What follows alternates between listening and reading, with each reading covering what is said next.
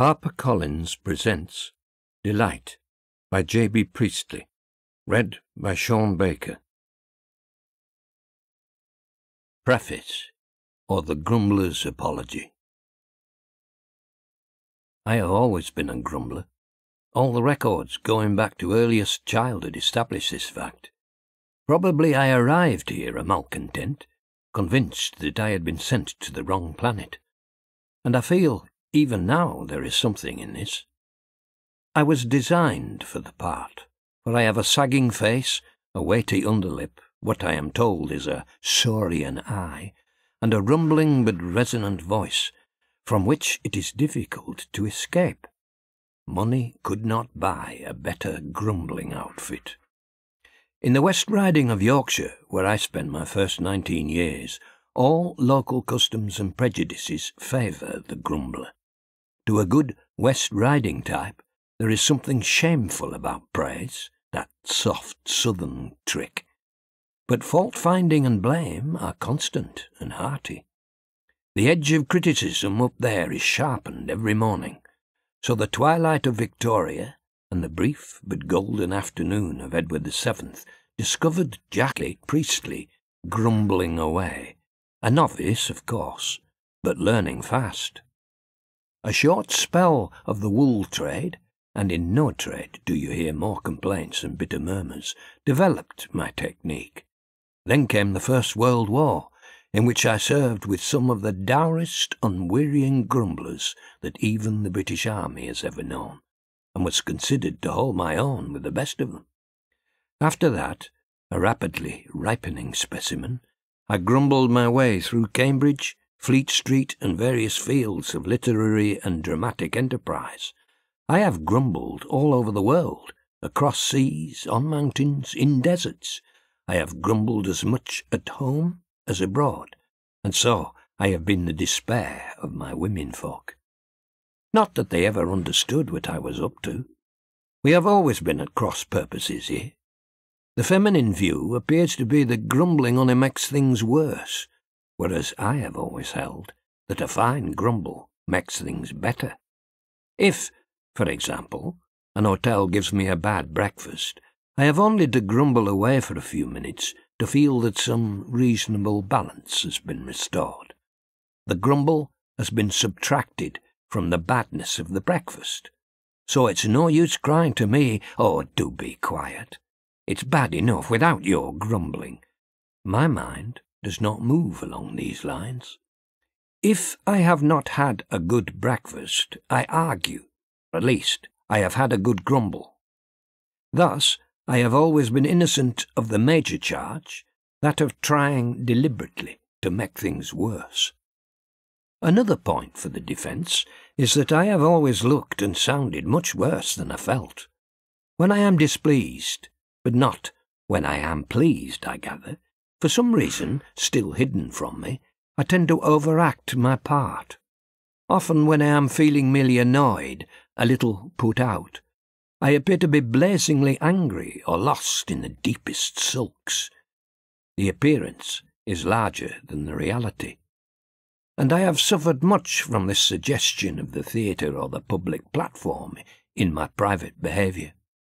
Time and again, my real feelings have been misinterpreted. I may not have been enjoying myself, but at least I have not been suffering as intensely as the rest of the company imagined. When rehearsals are going badly, I am often rushed out of the theatre, given drinks, flattered, cajoled, simply to keep me out of sight of the players, those pampered creatures. Once, years ago, at a large party, when I was grumbling as usual, a young woman who was a stranger to me turned on me fiercely and told me I had better go home instead of trying to spoil other people's pleasure. I was taken aback and may be said to have stayed aback ever since. But though I would gladly send that woman an inscribed copy of this book, and regret I do not know her name and hope all is well with her, the fact remains that she was misjudging me. The growling she overheard, for dash it, I wasn't talking to her, was a kind of small talk, almost a social gesture. My discontent was not meant to be taken seriously. It was that old unconscious exaggeration again, and although perhaps I always ought to have been more careful, for this I am more to be pitied than to be blamed.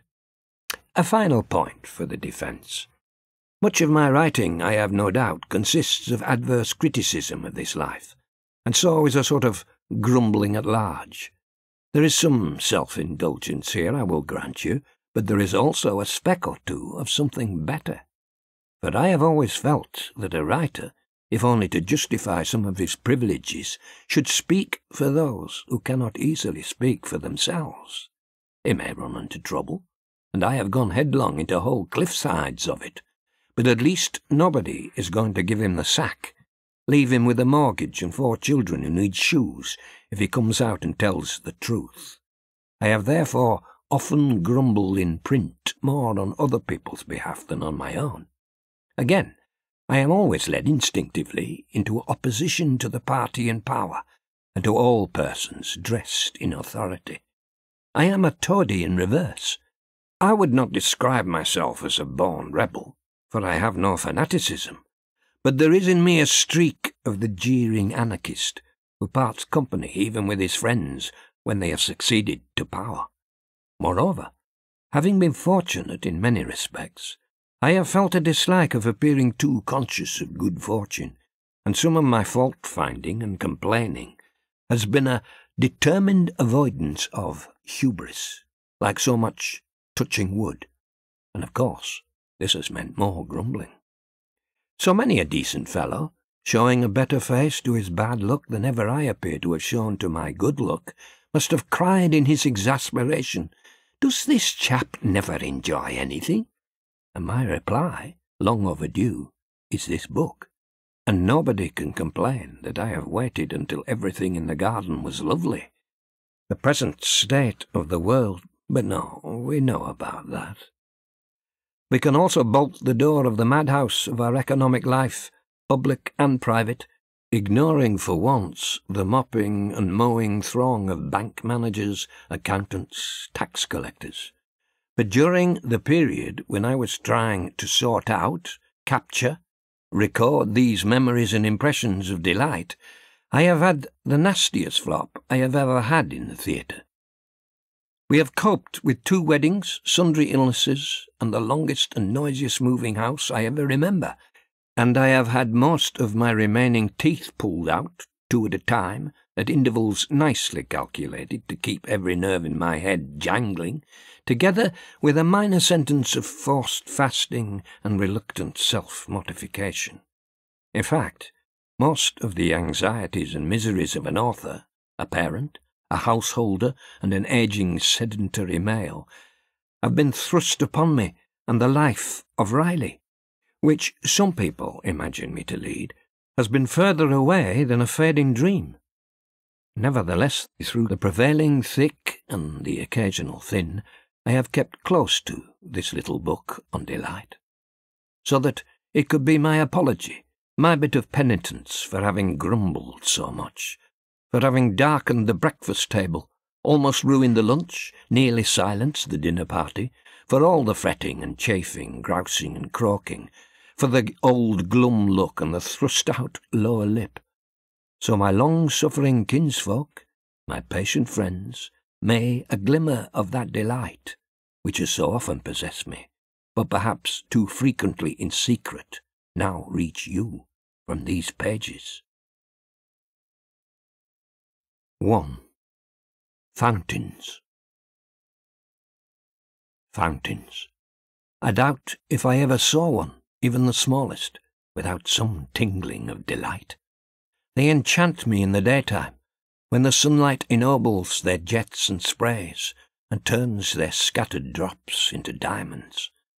They enchant me after dark, when coloured lights are played on them, and the night rains emeralds, rubies, sapphires, and best of all, when the last colour is whisked away, and there they are in a dazzling white glory. The richest memory I have of the Bradford exhibition of my boyhood, better than even the water shoot, or the Somali village, or the fireworks, is of the fairy fountain, which changed colour to the waltzes of the blue Hungarian band and was straight out of the Arabian Nights. And I believe my delight in these magical jets of water, the invention of which does credit to our whole species, is shared by ninety-nine persons out of every hundred. But where are they, these fountains we love? We hunger for them, and are not fed. A definite issue could be made out of this, beginning with letters to the Times, continuing with meetings and unanimous resolutions and deputations to Downing Street, and ending, if necessary, with processions and mass demonstrations and some rather ugly scenes. What is the use of our being told that we live in a democracy if we want fountains and have no fountains? Expensive? Their cost is trifling compared to that of so many idiotic things we are given and do not want. Our towns are crammed with all manner of rubbish that no people in their senses ever asked for. Yet where are the fountains? By all means, let us have a policy of full employment, increased production, no gap between exports and imports, social security, a balance this and a plan that, but let us also have fountains. More and more fountains, higher and higher fountains, fountains like wine, like blue and green fire, fountains like diamonds, and rainbows in every square. Crazy? Probably. But with hot wars and cold wars, we have already tried going drearily mad. Why not try going delightfully mad? Why not stop spouting ourselves and let it be done for us by graceful fountains, exquisite fountains, beautiful fountains? 2. Shopping in small places. Shopping in small towns and villages. When I am in cities and surrounded by shops, I take no pleasure in buying things, and generally contrive to have my shopping done for me. Take me away from shops, however, and then, after a week or two, let me find my way to some small town or village, and I take a delight in buying almost anything.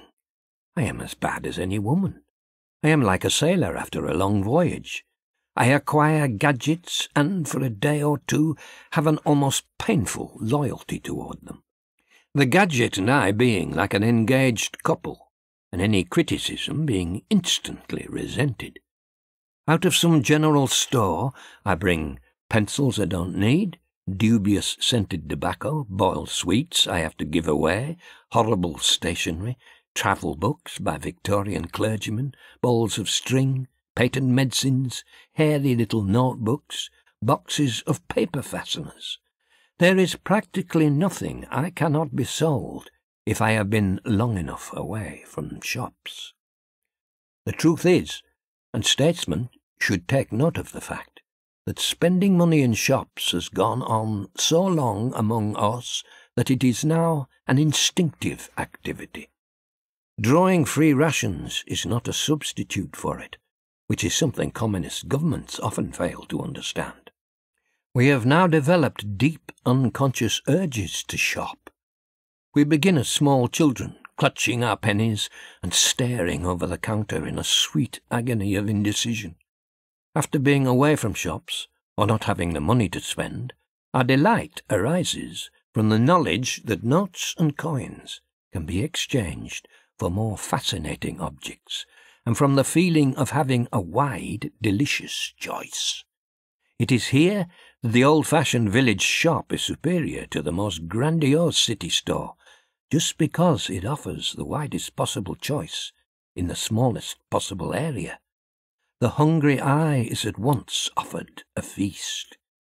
We who begin to buy only when we are at the mercy of our instinctive drives do not want a whole floor of neckties or saucepans, with lifts to take us to cushions or tobacco.